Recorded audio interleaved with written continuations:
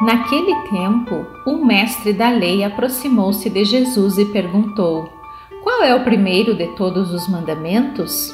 Significado para vivermos o Evangelho. A lei judaica reunia mais de 600 preceitos, muitos eram proibições e 248 eram mandamentos. Para os escribas, uma questão importante era saber a ordem hierárquica desses mandamentos. Então interrogam Jesus, que ao responder apresenta uma visão clara da centralidade deles. Jesus vai à essência da lei, que é o amor em seu duplo sentido, a Deus e ao próximo. Para eles são inseparáveis.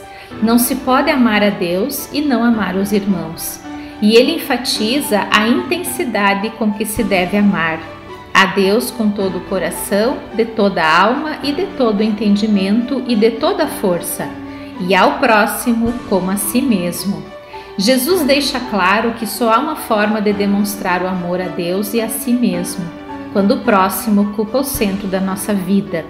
Dessa forma, ele também ensina a unidade e a coerência.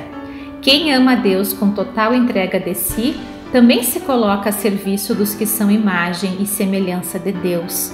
É importante destacar que Jesus não se refere ao amor apenas como um sentimento, mas como uma atitude. Ele usa o verbo amarás, definindo ação, movimento, acontecimento. Amar, portanto, é gesto concreto. Conduz a uma prática que gera vida. A proposta de Jesus é clara a maneira mais concreta de amar a Deus é amar o próximo.